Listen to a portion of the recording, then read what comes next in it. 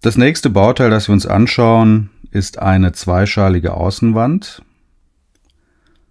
Auf der Innenseite mit einem Zementputz, äh, mit einem Gips, Gipsputz versehen, dann das tragende Mauerwerk, ein Hochlochziegel, die Wärmedämmung aus Mineralwolle, eine Luftschicht, über die wir gleich noch sprechen, der Vollziegel als Vorsatzschale und ein Außenputz, der Kalkzementputz.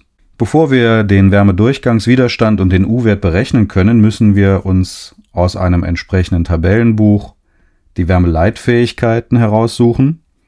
Bei der Luftschicht handelt es sich um eine Hinterlüftung, die den Sinn hat, eventuell eingedrungene Feuchtigkeit wieder abzuführen. Das heißt, ich habe eine belüftete Luftschicht, nicht ruhend.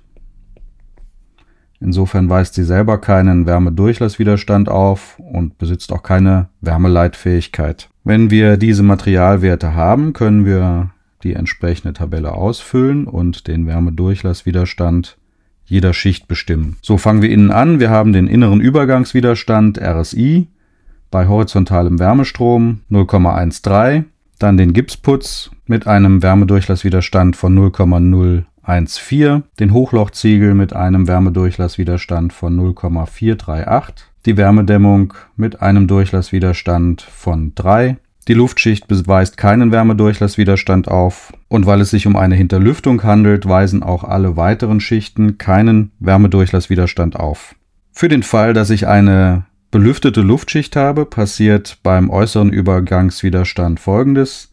Ich kann den äußeren Übergangswiderstand gleich dem inneren setzen und erhalte so den Wärmedurchgangswiderstand von